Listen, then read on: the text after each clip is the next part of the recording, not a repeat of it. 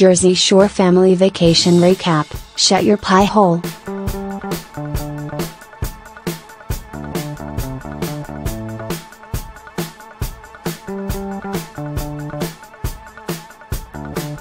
So long as Paola and Uncle Nino are in town, everything within the property lines of the Miami house is to be legally considered part of Staten Island.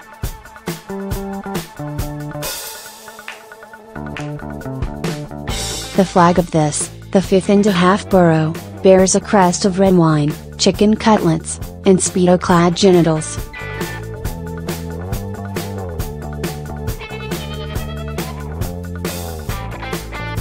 Nino's delighted poolside appraisal of the Sammy Sextol no fucking teeth. God bless America. We're in business. Will haunt me longer than the scariest scene in the scariest horror movie I will ever see. Vinny's excitement to see his mother is tempered by his horror at her having to interact in close quarters with these insane people, and likewise, for everyone else to interact with Uncle Nino. Nevertheless, all parties involved are delighted to have them there, particularly Mike, who practically breaks out into a rewritten My Favorite Things About the Mozzarella, Prosciutto, Sopressata, Garlic Bread, and Funfetti Cake, to name, like, a quarter of all the food that is happening here, Paola has provided them. Later, inspired by Nino's characteristically hard R profanity laden insistence that it's like fucking 30 Viagra, this being a good thing? The men employ a pot and at least three knives in a hard fought battle to open a single coconut. Just another night in Staten Island South.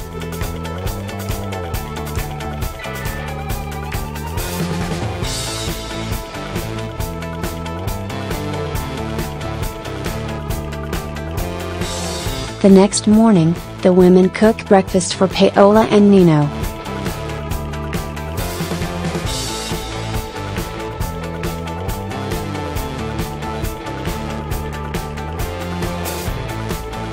Vinny's family heads back to the airport, but not before Nino can assure Mike he knows guys on the inside if, you know, it comes to that, and Paola can offer some relationship advice to Ronnie.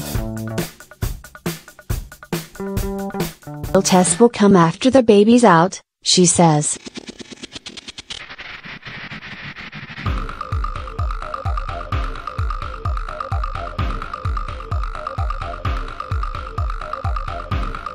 Ron's shaken up about Jen, he reveals to the girls, and us, that his girlfriend cheated on him.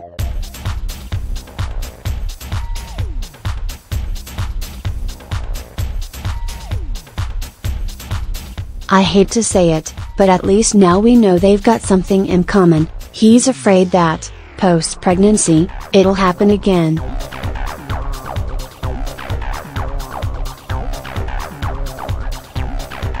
Everything I did was a reaction to her action, he says, but fortunately gal sees fit to remind him that he chose to stay with her and that none of this absolves him of his own misbehavior. Over on the right side of the relationship tracks, Mike's girlfriend Lauren is on her way to Miami.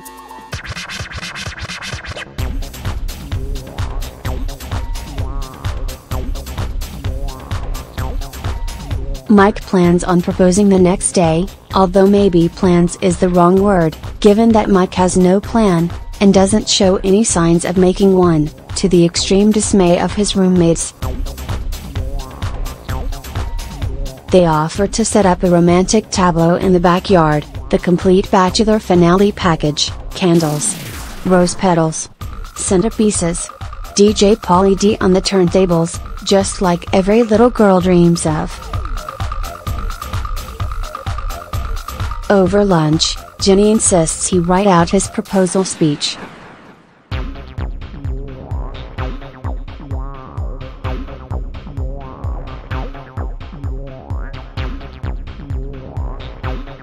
There's been tension between the two of them since their late for dinner fight in Bimini, and Mike does not take kindly to her taskmaster intensity.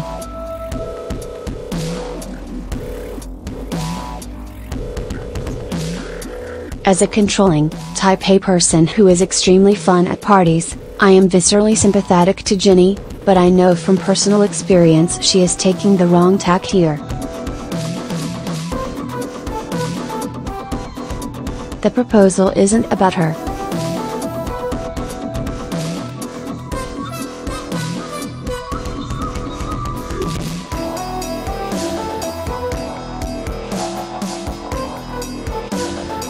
And sometimes, you need to let people fuck up and to trust that Lauren loves Mike even when he's suffering from a bout of funfetti brain.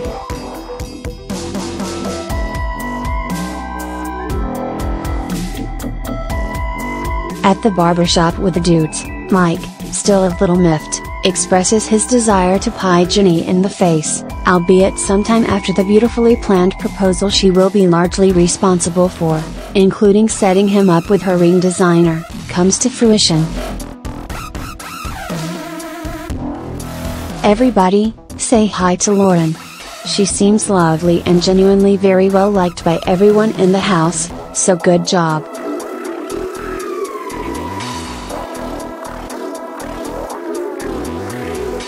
For his part, Mike is so excited to be back in her presence that he's worried that he might accidentally spoil the surprise himself.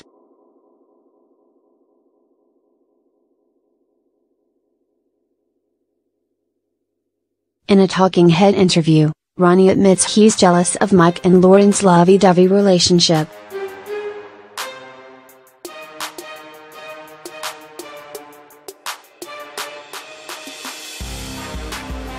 He lacked out about it in 5, 4, 3 and whoops, here we go. In the cab with the non-Lauren girls on the way to dinner, Ron tells Jenny what Mike said about the pie, which frankly hardly registers on my gossip Geiger counter, but whatever. This is a feat of blatant shit stirring that would do Ramona Singer proud.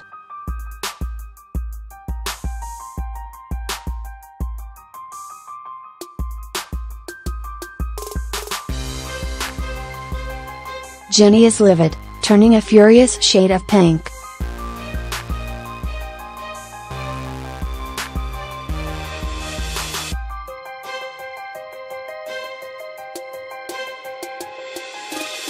She got the ring, she planned everything, and this is how he thanks her? I'm about to fuck up the next 24 hours, she says.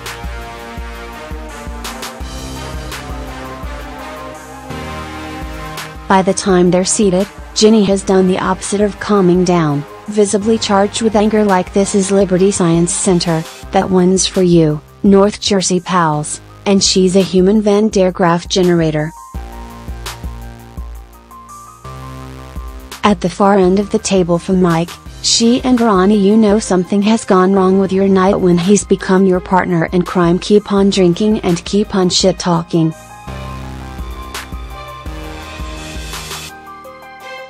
I'm about to ruin someone's proposal, Ginny says aloud, and Deena and Nicole look so horrified that I'm half convinced one of them will call in a fake bomb threat if only to clear out the restaurant. Instead of committing a federal crime, as was my first thought, Deena invites Lauren outside for a chat.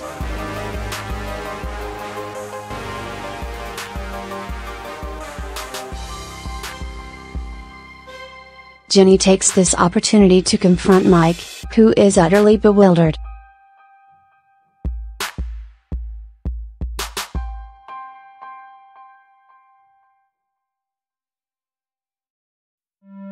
It seems pretty clear that the pie thing, if he was going to go through with it at all, would have been about as wholesome a prank as the dorkiest dad on your block growing up could think of.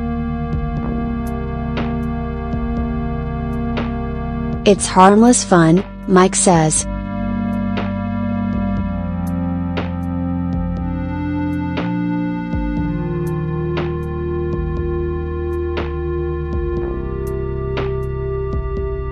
I don't want to make tomorrow happen now.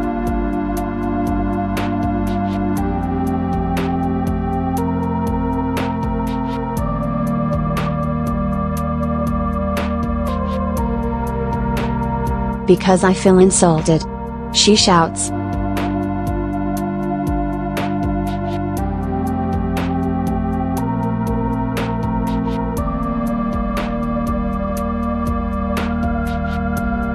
Mike apologizes.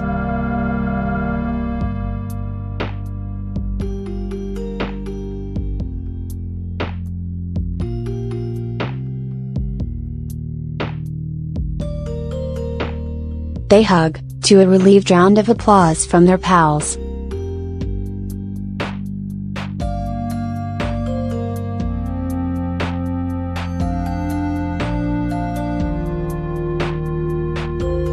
With that conflict at least temporarily resolved, thank God, everyone heads home and up to bed.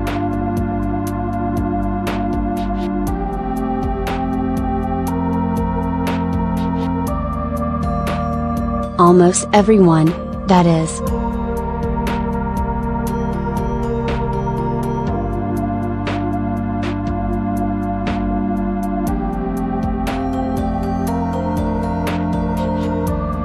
Ronnie, clearly agitated, putters around the ground floor.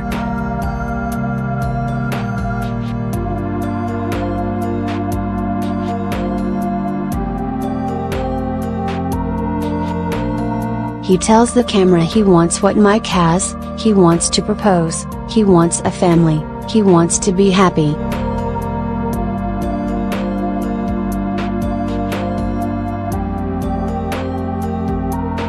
Here I am, Ron says in the confessional, before his speech becomes unintelligible through the tears.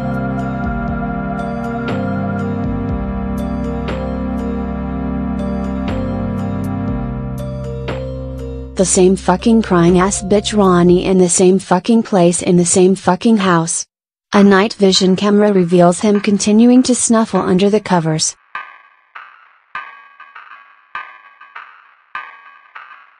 Somebody needs a slice of funfetti.